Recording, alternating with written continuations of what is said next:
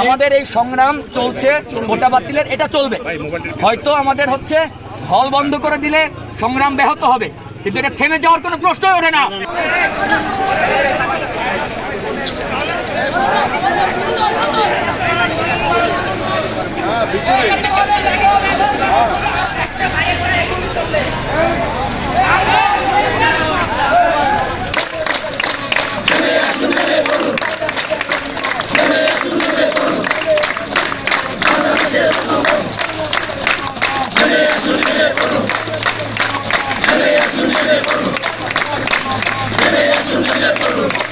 এদিক দিয়ে দুই গাড়ি পুলিশ গেল ওদিকে।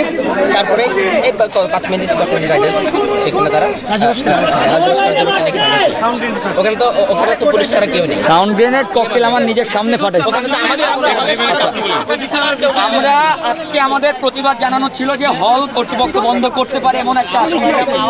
আমাদের কর্তৃপক্ষের কাছে দাবি জানানোর জন্য যে হল যেন কোনো অবস্থাতেই বন্ধ না করা হয়।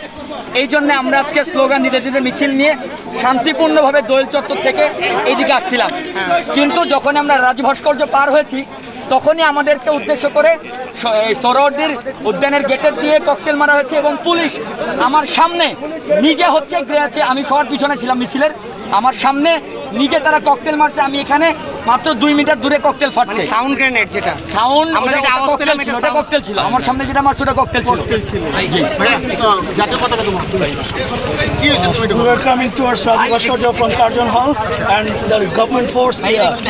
আমাদের রাস্তা আটকে and আমরা হচ্ছে তখন এই জায়গা থেকে বের হওয়ার জন্য ওদেরকে ফোর্স করি। আমাদেরকে যেতে দেন এটা আমাদের একটা শান্তিপূর্ণ মুভমেন্ট আমরা আপনাদের আপনাদের আমরা আপনাদের লোক আমরা আপনাদের কোনো ক্ষতি চাই না। আশা করব আপনারা আমাদের উপর কোনো আক্রমণ করবেন না। এই কথা বলার সাথে সাথে তারা প্রথমে টিএসসির গেটে সরি সৌরর্দি উদ্যানের গেটে একটা ককটেল ফোটায় তারপর আমরা সবাই দৌড় দেই। দৌড় দিলে আরেকটা ককটেল নিক্ষেপ করে ভাইয়ের দিকে। তারপর সবাই যখন দৌড় দেয় ভাই একলা ছিল পিছনে তারপর আমি সবাইকে বললাম চলে যেতে। আমি যখন পিছনে ছিলাম তারা সাত আট জন মিলে আমার উপর হামলা করে।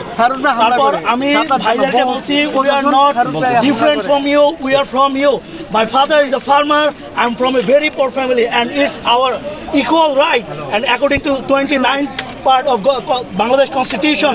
We have equal rights to get government jobs. And this was our regular movement. This was a peaceful movement. But তারা আমাদের ক্ষেত্রে এই মুভমেন্ট অবস্টেকল দিচ্ছে। আমাদের মুভমেন্টের আজকের কোনো উদ্দেশ্য ছিল না পুলিশ সাংবাদিক বা ছাত্রলীগের সাথে সংগ্রামে বা আন্দোলনে জড়ানো। আমাদের উদ্দেশ্য ছিল আমরা শান্তিপূর্ণভাবে আসব সিনেট ভবন ঘেরাও করব যেখানে শিক্ষকরা সিদ্ধান্ত নিচ্ছিল ভার্সিটির হলগুলো বন্ধ হবে কিনা। And আমাদের মেইন উদ্দেশ্য ছিল ভার্সিটির হলগুলো যেন বন্ধ না হয়। ঠিক আছে? আচ্ছা ভাইয়া ভার্সিটি হলের বন্ধের যদি কোনো সিদ্ধান্ত আসে তাহলে আপনাদের কি অবস্থান থাকে? আচ্ছা ভার্সিটির হলগুলো বন্ধ হলে আমাদের এই মুভমেন্টটা পুরোটাই নষ্ট হয়ে যাবে। আমরা এতদিনে যা গেইন করছি আপনারা কি করবেন? কি করবেন? বন্ধ আমরা বন্ধ হতে দিব না। নষ্ট হবে। বিষয়টা এমন না। আমাদের এই সংগ্রাম চলছে কোটা বাতিলের এটা চলবে। হয়তো আমাদের হচ্ছে হল বন্ধ করে দিলে সংগ্রাম ব্যাহত হবে।